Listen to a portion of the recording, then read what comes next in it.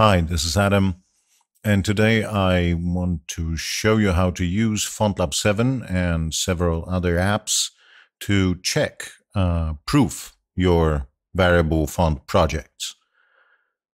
Since all popular font editors now have some mechanisms for designing variable fonts and exporting them as variable OpenType fonts and as static instances, you can use FontLab or any other font editor to develop or design the variable project. But then it's useful to test and check how a font performs in several apps. Here's a real use case scenario, the wonderful STIX 2 font uh, developed by Tiro Typeworks and available on GitHub in the VFJ format. So when I open it in FontLab 7 and open the variations workspace, I can customize it a little bit. Also need the preview panel. I can right click on any of the panel uh, headings or use the window menu. In the layers and masters panel, I can click on different masters to switch them, or I can click on the special instance layer, which shows me the dynamic instance chosen in the variations panel. I can customize the preview panel. I can uh, fill the preview or show nodes. And whenever I select a glyph, the current instance will be shown in the preview panel.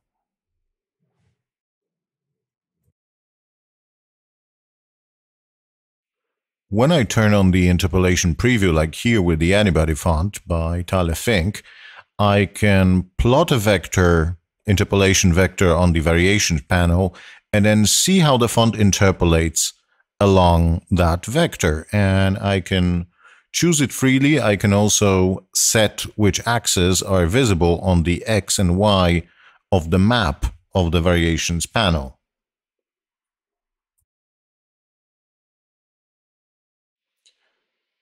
But when I uh, turn on the instance preview and then switch to the list view, I can uh, preview either any master or any predefined instance, or I can click the play button to variate along that axis. I can uh, play or pause the animation along a single axis, or I can also alt click to play or pause the animation along all axes. So this way, I can smoothly see any of the selected glyphs or the current glyph as they variate. This is, by the way, a variable TTF that I've opened, but you can also open glyph, glyphs files or design space with UFO. In the font window, you may want to uh, switch between the different uh, modes at the bottom right, uh, the cell proportions, and also between how the columns are shown. Choose the numeric settings to have a fixed number of columns in the font window, uh, which you can change with Command plus, Command minus. Or if you switch to the flex view, then uh, you can use a slider and you get a finer granularity in the Command plus and minus zooming. Now remember that the layers and masters panel shows what the current layer is in the font window and also in the glyphs window. And in order to see the instance that you choose in the variations panel, in the layers and masters panel, you need to activate the instance layer. It's a read-only layer. So when you want to edit a master, you need to choose it again. When the instance layer is active in the layers and masters panel, the play and pause buttons uh, work also in the font window cells. So you get the live interpolation, you can see how your glyphs change and you can easily spot some potentially problematic situations.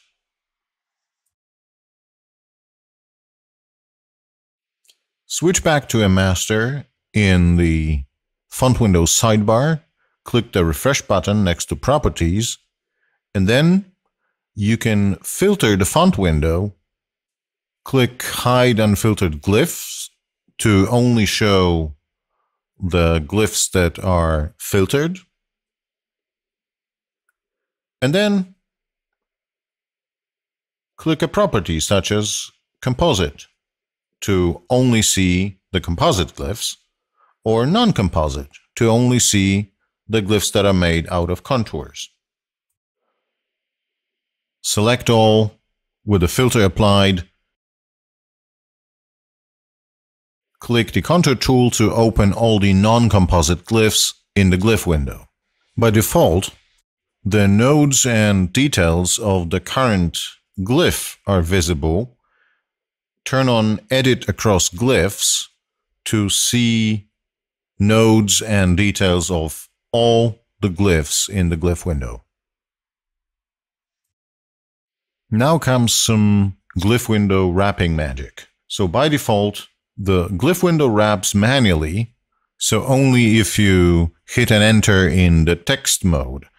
But if you turn it to auto, then the actual text size zoom level, which is Command 1 or Control 1 on Windows, the text wraps at the current window width. But of course, each master can have a different width. So if you play the variation animation, the text in the glyph window with auto wrapping uh, continues to reflow. There's a nice solution to that in text wrap, choose apply, and best do it with the widest master selected and FontLab will insert line breaks into the text at the places where the automatic wrapping happens. Now when you play the animation, even with narrower masters, the reflow doesn't happen because there are hard line breaks in the text. If edit across glyphs is active, you can really study all the details, how the nodes interpolate, how the handles or off-curve points interpolate. If you turn it off, edit across glyphs, then you get the rendered preview and only the current glyph is visible with details. Yeah, I can see that there's something fishy with that kra. If you have a new machine, then the animation should be fluid, even with a longer text and many axes. STIX 2 on the left, times on the right. Very nice. If you have separate variable projects, in Font Window, double-click on the Fonts panel to switch between the font windows. But in a glyph window, click the Fonts panel to switch the font within the same glyph window, keeping the text. Remember to see the variation animation in the glyph window, you have to select the instance layer, which is uh, a read-only layer. Switch back to a master to edit. Of course, with the instance layer active, you can also preview metrics in the metrics mode of the glyph window and also kerning and see how the values change. Change the size of the nodes in glyph window preferences if you're taking the bird's eye view. If you have uh, many overlapping glyphs or zero width glyphs, switch the text wrap to table to get every glyph in isolation, like font window cells, but in the glyph window, so fully editable. Okay, let's make a recap of the variation model in FontLab. we have a neutral master, we have additional masters uh, that are located on axes. Every axis has a two-letter code that's internal to FontLab and design coordinates. The locations of instances are also in design coordinates. An axis corresponds to a FVAR axis with a four-letter tag which may be shared among HOI axes. The axis graph provides a mapping from design coordinates to user coordinates which may be standardized for axes such as weight. That's done in the font info axes page where you also provide particles or style words for the stat table. The font info font masters page places the masters on design coordinates. The blue dot indicates the neutral or main master.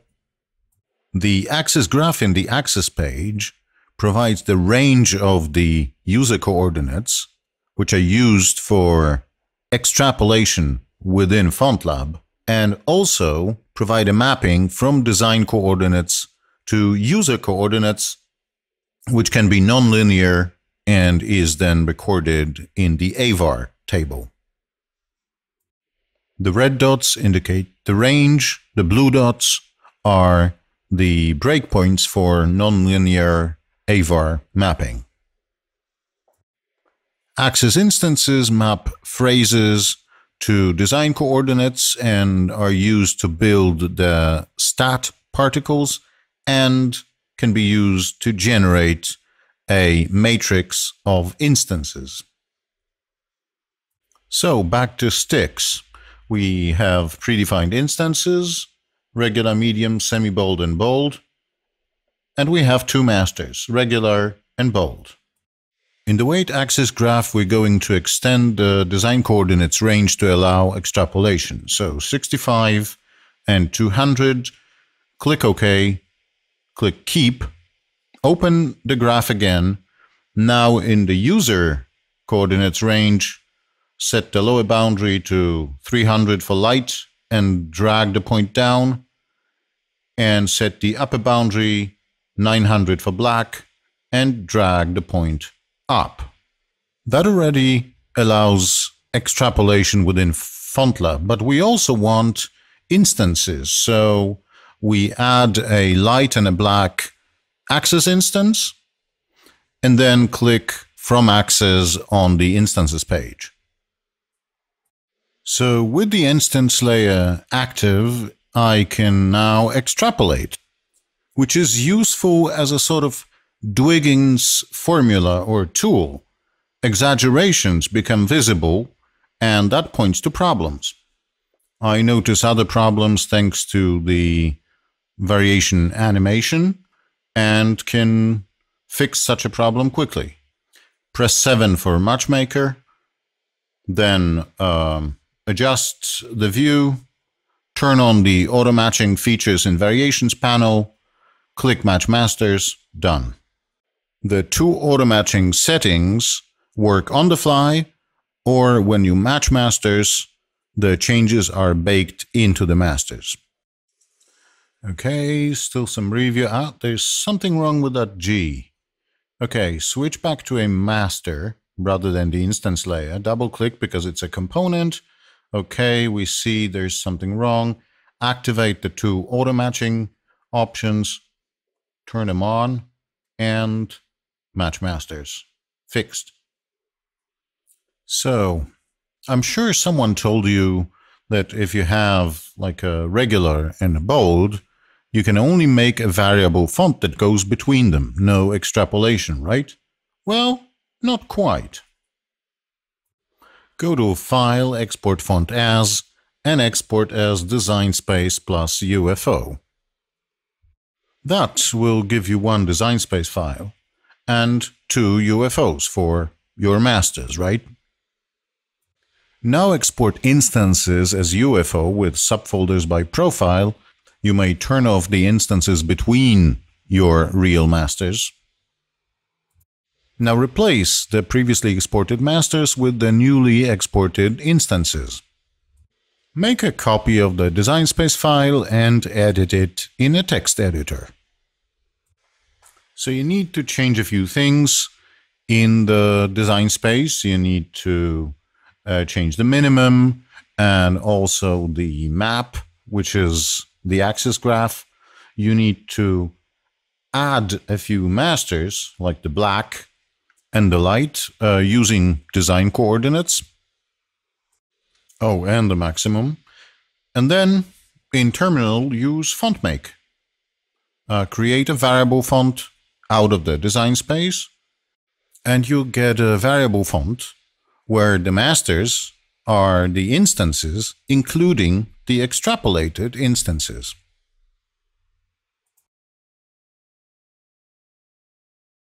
Here's another tool you can use. Bulletproof Font Tester by Adam Jagosz. Go to bulletproof.italic.space. It's a web-based tool, so you need a real working variable font. And it so happens that we've just made one. Drop the font to the font tester and choose Editor. Set the font size a bit higher and go back to FontLab. Select all glyphs, open the text mode. In the glyph window sidebar, make the font larger, like 120 points, for example, and then apply the wrap. Finally, select all and choose text, copy as Unicode text. This only copies the encoded characters of your font so you can paste them into Bulletproof uh, Font Tester or any other proofing app.